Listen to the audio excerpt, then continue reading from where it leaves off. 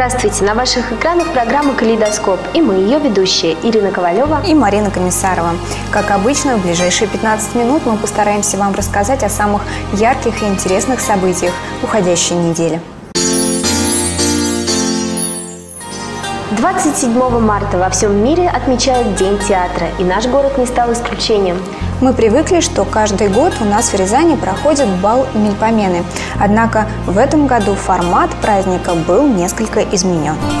В этом году вместо привычного совместного представления, которое объединяло все рязанские театры, каждый театр в отдельности готовил свою особенную программу именно для своей аудитории. Наверное, сложнее всего пришлось театру драмы, ведь сюда приходит разный зритель – Иногда думающие серьезные, а иногда жаждущие посмеяться и расслабиться.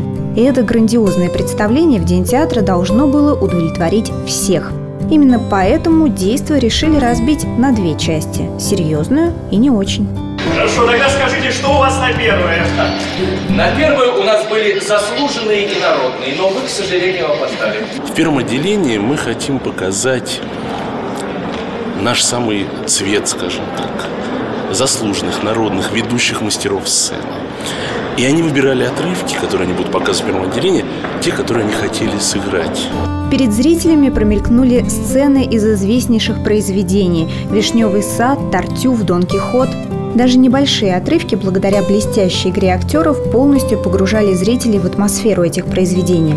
Вот мы сопереживаем владельцам вишневого сада и будто бы вдыхаем аромат белых цветов – а вот наблюдаем вместе с Владимиром Призом в роли Аргона за тем, как Тартюф, которого сыграл Александр Зайцев, пытается соблазнить его жену.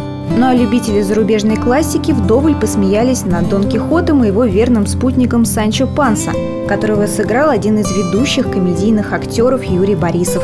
Именно в Рязанском театре драмы он работает около 10 лет. За это время он сыграл несколько десятков ролей, и большинство из них были комедийного характера. Но даже в таких ролях, по его собственным словам, артист старается найти драматическую нотку. Конечно, там, где это возможно. А вообще свою профессию Юрий любит, хотя и не отрицает ее сложности.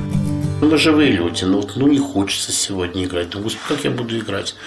Что-то у меня то ли настроения нет, то ли с кем-то поссорился, то ли я просто плохо себя чувствую, погода, еще какие-то жизненные обстоятельства. Но, вы знаете, чаще всего бывает, ты выходишь на сцену, как будто вот тебе Бог силы дает и какая-то энергия у тебя появляется, неизвестно откуда. И ведь часто у любого актера спросить, вот приходит он больной играть, к концу спектакля ничего, абсолютно здоров, как прямо лучше стал, потом, правда, опять хуже будет. Но вот этот процесс, вот это... Знаете, все-таки я думаю, что вот эта вот энергетика зрительного зала, вот энергия зрителей, которые собрались в зрительном зале, она вот как-то как подпитывает актеров. Первое отделение завершилось торжественным награждением лучших театральных деятелей Рязани. Все они получили грамоты и благодарности от Министерства культуры и туризма Рязанской области. Рязань театральный город. У нас четыре замечательных профессиональных театра, а также громадное количество самодеятельных театров, театральных студий. Это удивительные люди, люди удивительной профессии, очень преданные своей работе. И это люди, э, которые дарят нам хорошее настроение, возможность подумать о вечном, о прекрасном. И мне хочется пожелать оптимизма, такой же верности своей профессии, новых замечательных идей, всего самого доброго. Ну, конечно, крепкого здоровья. Ну а после антракта зрителей ждал традиционный театральный капустник – Молодые актеры познакомили зрителей с особенностями театральной кухни. Секреты своего мастерства раскрывали Александр Пушкин и Лев Толстой. О, что-то жарко тут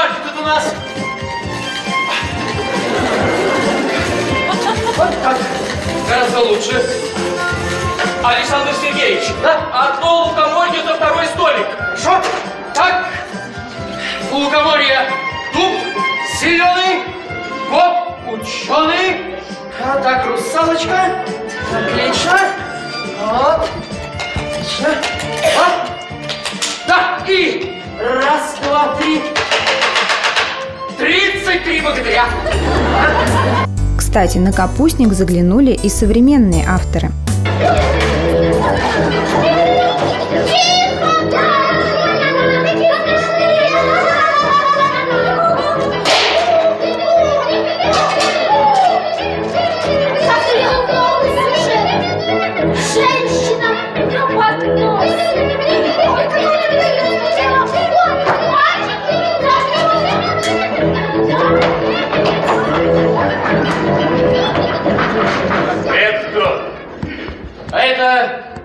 Дарья Донцова.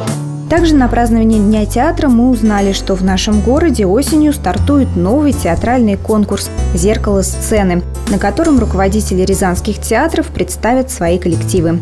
Новый конкурс должен стать более профессиональным и открытым для других регионов. Так что в результате небольших преобразований Рязань получила сразу два больших праздника – Международный день театра и конкурс «Зеркало сцены». Юные воспитанники художественной студии «Калибри» не перестают удивлять нас масштабом своей фантазии. На выставке, которая открылась в кукольном театре, вы можете увидеть, как ребята в своих работах постарались оживить явление природы.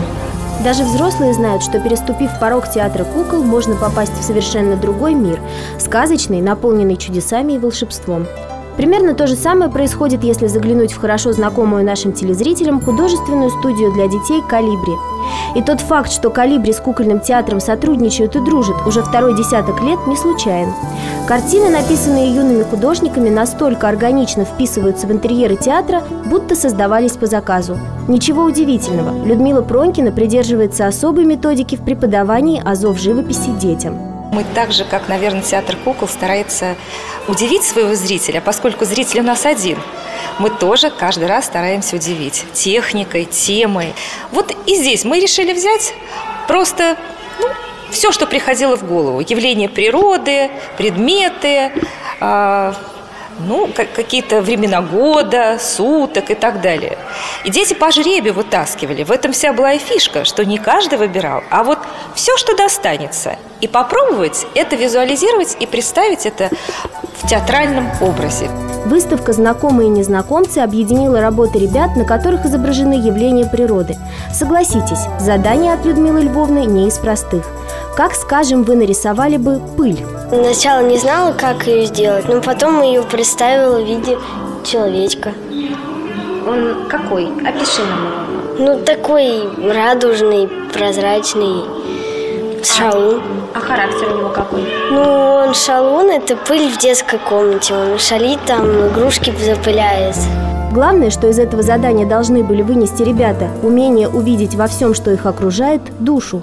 Увидеть по-новому, по-своему, как настоящие художники. Одна из задач нашей студии – это научить детей видеть прежде всего – Рисовать – это как побочный продукт. Волей-неволей они пришли в художественную студию, они научатся рисовать.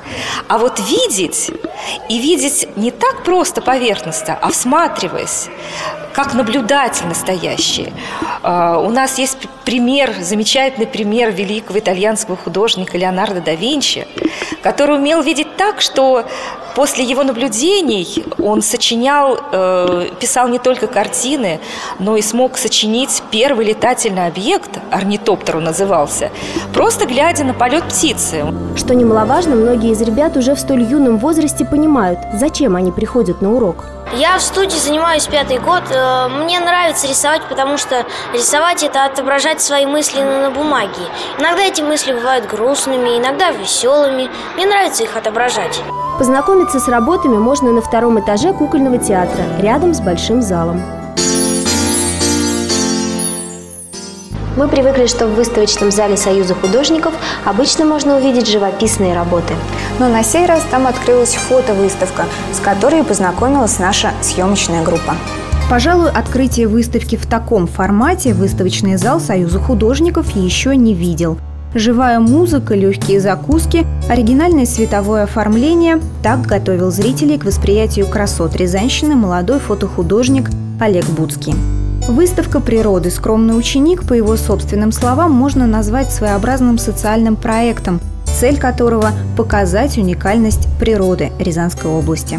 Я ездю по многим областям, э, близлежащим областям, э, наблюдаю за, за природой, смотрю на природу, на пейзажи, на, на природу в целом.